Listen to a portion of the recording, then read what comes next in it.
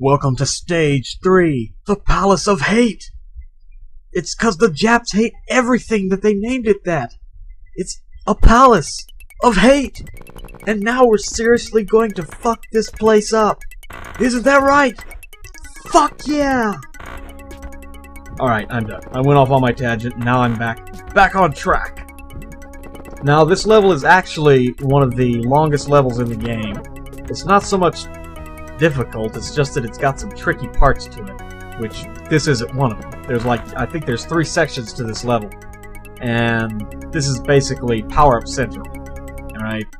As long as you can avoid the enemies, which aren't too tough as you can see, you're gonna get pumped up, which is a good thing. More power is good, right? More power! now, the key to making it through this area, well, other than the area where I'm crouching here, but the key to making it through this area, and which is good advice for any level, I must say, is to basically just keep jumping and keep your little spin shield thingy going. Kind of like that. It makes you, well, damn near invulnerable to anything that pops up. Now this is the basically a very short part of this level. I have no idea what the hell those things are. They look like Buddhist monks or something that are praying, except their legs are made of fire. I, I'm not quite certain. Maybe the, I actually I think that's what they are because of the uh, upcoming enemy in the next area, but we'll get to that later. Buddhist monks, evil monks in the Palace of Hate. Who would have thought? Oh wow! Guess what? We got Asura! Kills every enemy on screen? Not one fucking enemy on the screen. Now this is the tricky part of this stage. There are multiple paths you can go here, and you see the, that like that little rock statue up there? What you want to do is you want to find the one that's eyes are flashing. Alright, you want to walk into it. And not to mention you want to look out for the ones that come to life and jump all over your ass. Oh, and by the way, see that little red bastard up here, up there? He is one mean motherfucker. He's called a Tengu. Now, basically they've got like giant dick noses and they're fucking bastards in Japanese folklore, and they live up to that shit here. Just think of them that you would like the Red Ace of Super Ghouls and Ghosts. They're basically the same thing. Like, that little cocksucker likes to drop out of fucking nowhere and just kick you in the fucking head. So yeah. Oh great! Another Asura! And why? Because there's no enemies on screen, of course. Now, the statue with the glowing eyes will always be in the same place, so just follow this path here. This one's kinda actually tricky to find, but that fucking Tengu is wiping my health out. And it actually causes me to die during the fucking boss battle here, but yeah, you just jump into the statue with the glowing eyes and voila!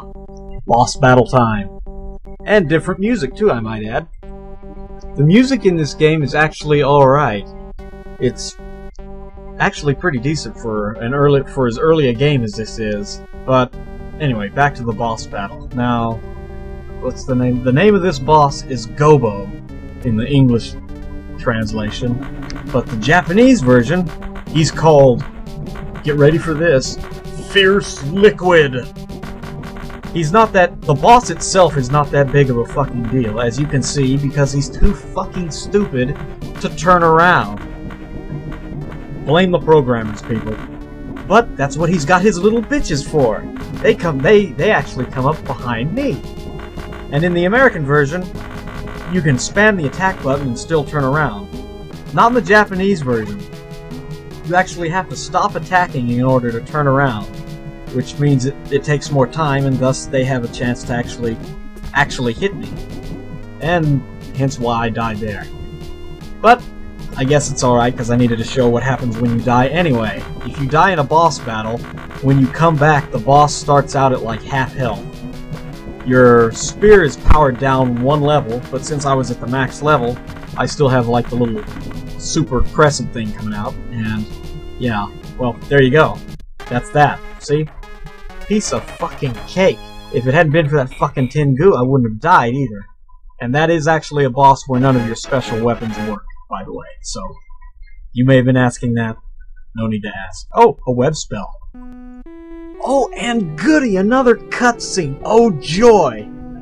Azumoto gradually walks up to the stoned maiden as she comes to life in a weird yellow light. Oh, Shitamoto. Now, see, now that's what the hell I'm talking about. How the fuck does he know she's a human? He had to stab the other one to find out. Come on, that's probably a fucking one of those gigantic testicle tanukis, man. How the hell did he know? He's a stabber. At least be consistent in your methods, Imoto, for fuck's sake. And she's going on about how Gobo took the key to her master, to his master or some shit, and she's holding a white ball for some reason. Makes no sense. But neither does this. She apparently has the powers of telekinesis, as she is obviously levitating my spear above her head. Ha ha ha. Yeah. You dirty minded bastards. Anyway, up next, stage four.